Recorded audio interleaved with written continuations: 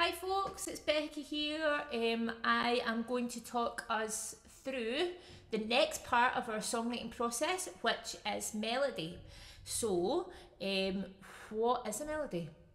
Well, it's a collection of notes or sounds, vocal or otherwise, that form the top line of your song. So they have to be coherent, they have to be tuneful in some way, and of course, they have to provide us with some sort of meaning. So the, the melody itself is important because it's part of obviously the magic making of the song. So Kenny talked about the structure and rhythm, and Andrew talked about chords, and of course we've got Claire's lyrics. So all these things together create the song, and it's when all these things are working in tandem, when they feel organic, that you start to get that magic of the song. And a lot of time, I think we can struggle with melody um, for a few reasons. One, eh, there is a lot of pressure to to get a good melody, and sometimes we can mistake quantity for quality, shall we say, when it comes to melody. Um, and of course, um, melody in many ways carries meaning and we're going to look at the ways in which melody can carry meaning uh, in the next few minutes. So think about the ways that melody or tone, for instance, can create meaning. Well, tone can be defined by, by more than just how we sing. Uh, tone can define genre, for instance. Uh, tone could define emotion, and also it could actually define the seriousness of, of the song itself. So, for instance, if I sang, let's just use three chords G, C, and D.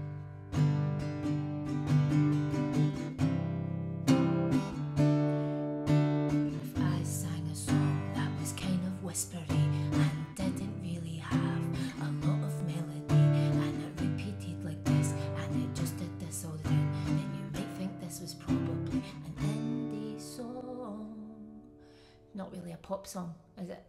But if I sang a song that was like, if I sang a song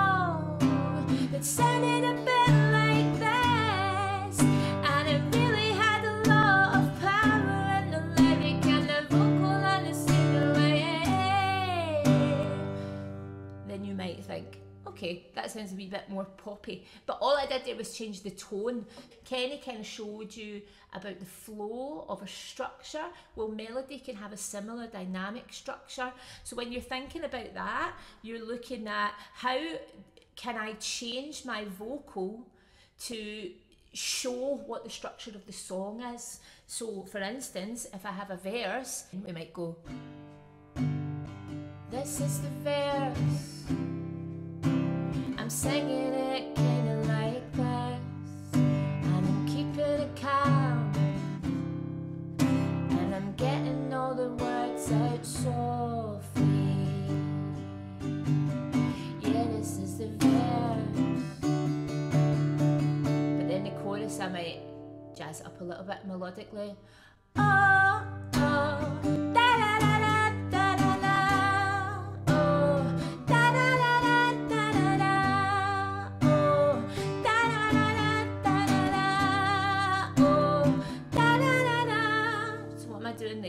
I'm showing the dynamic shift between verse and chorus. And what that tells the listener is this bit is the explanatory bit, the verse bit, where we're kind of going through the motions.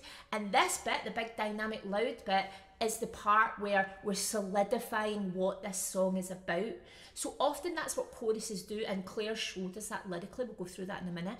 Um, how the chorus can be the kind of the, the connecting point of the song that says, this is what this song means, this is what it's about.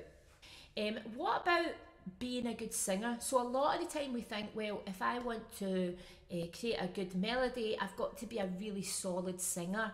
But actually, I can show you examples of songs where singers aren't actually that good, but the melody holds tight so if you want to have a wee go at singing, a wee go at performing, and you feel that you're not that confident a singer, the best thing to do is just find the attitude inside yourself, for want of a better word. So how can you um, bring a coherent melody without a strong vocal melody? There's lots of ways you can do that. Sometimes rhythmically can be a really good idea. So you might have like a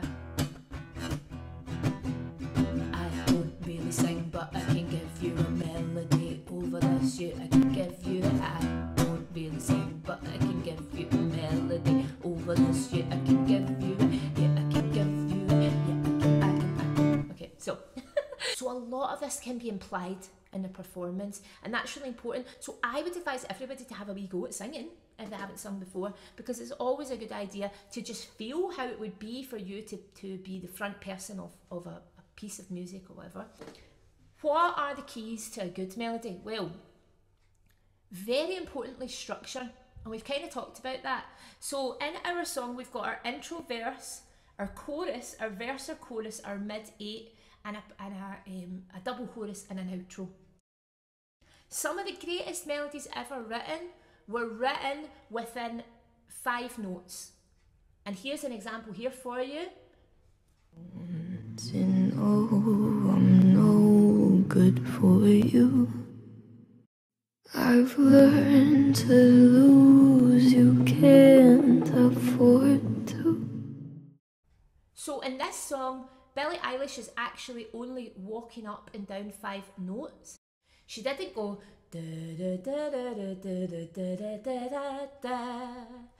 that would be too much, it would be too muddy. So a really good um, way to approach a melody is with simplicity. And you might have noticed in that example I gave you there as well that there was a lot of repetition.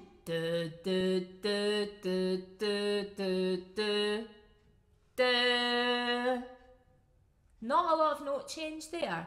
Why is that important? Well, repetition again helps to solidify structure. So when we're doing a melody, we need to think about the structure. Structure matters. It's what the listener hears, it's how they can connect to a song. So another way you can define melody, and we talked about it a little bit before, is rhythm. So here's a really good example of a rhythmic melody. Who cares what they know? Can hear that Pharrell is using two techniques here. So he's using a really solid rhythm, da da da da, da da da da, da da da da, yeah, da da da da. Okay, so he's using an octave leap. So that is a, a, a key trope that lots of artists use, this octave leap. Da, da, da, da, da, da, da, da. Okay, wonderful. Easy to do. Well, if you it's easy to do if you're a singer, the octave leap, but the rhythm element of uh, that kind of melody making easy for all, and it basically is a call and response that song. So you've got you could do that on your own guitar, you could do that with your keyboard, where you've got like a uh uh.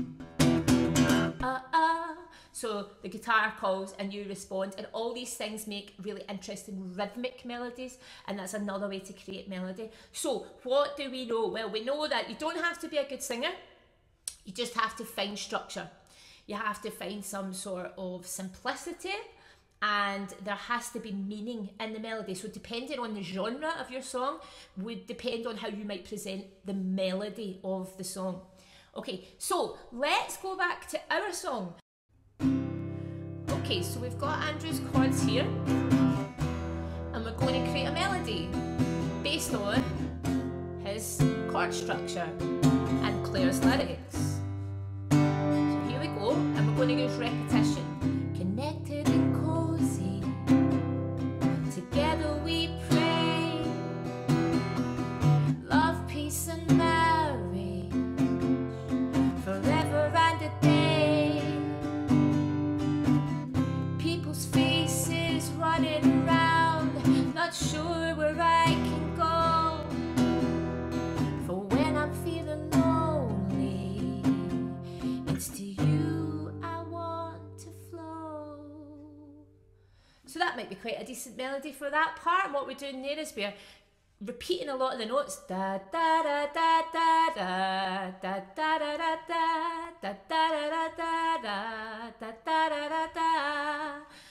There's rhythmic repetition there and also note repetition, so that's providing a lot of structure. We mess it up a little bit in the third section. So we've got eight lines here, line one and two, connected and cozy together we pray. The melody's the same.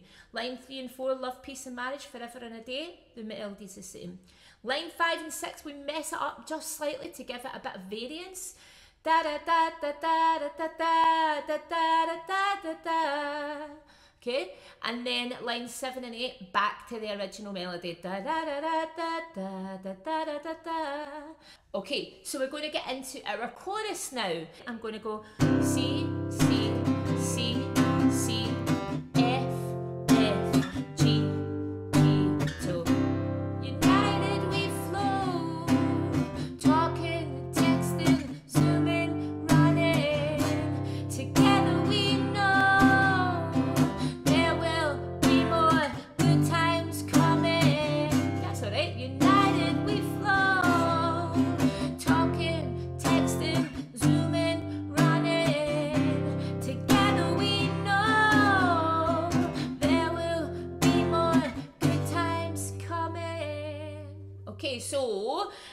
Kind of done that on my feet there a little bit, so I worked it out as I went along.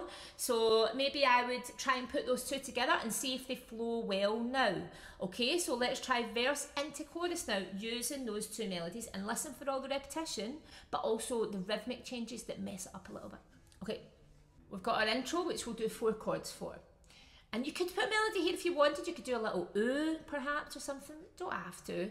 Some people like to, like me, I like to fill all the song with noise. but some people like a bit of space, so we'll give it a bit of space um, for Andrew's sake, because he likes a bit of space. So this is our intro. C,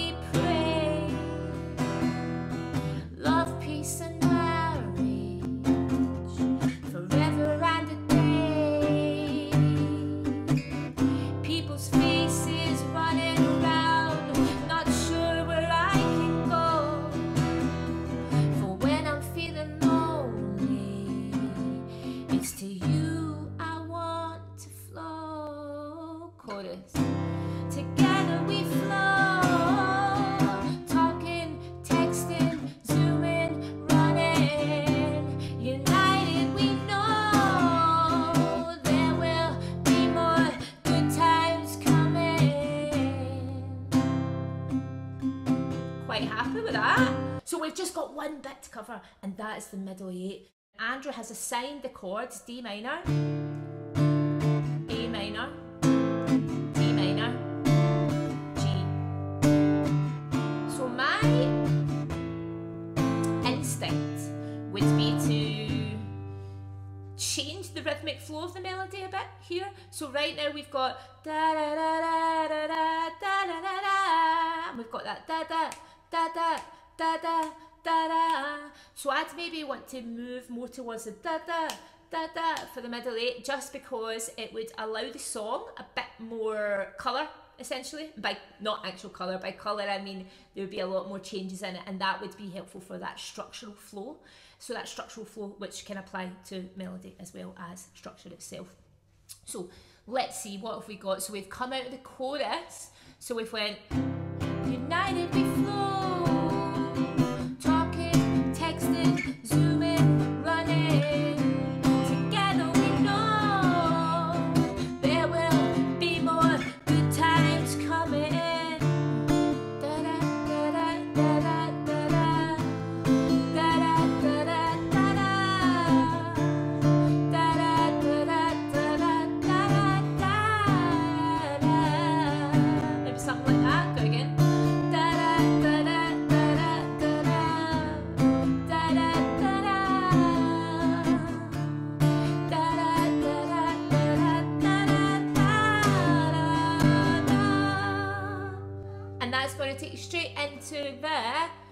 chorus, the double chorus. So this song's starting to feel, it starts quite slow melodically, but it's starting to feel like quite a feel good song and having that melodic structure can really help with that.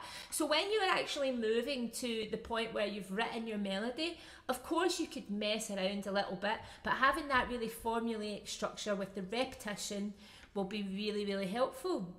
Okay, cool. I'm quite happy with that. Great. So there are some ideas for melody, but the most important thing about melody is probably to keep it simple. Don't be afraid to use your voice, even if you feel like you're not a singer, um, and use repetition as much as possible within each section of the song. So the verse should sound the same, the chorus should sound the same, and your middle eight should sound altogether different but the same. Okay, good luck. Take care. See you soon.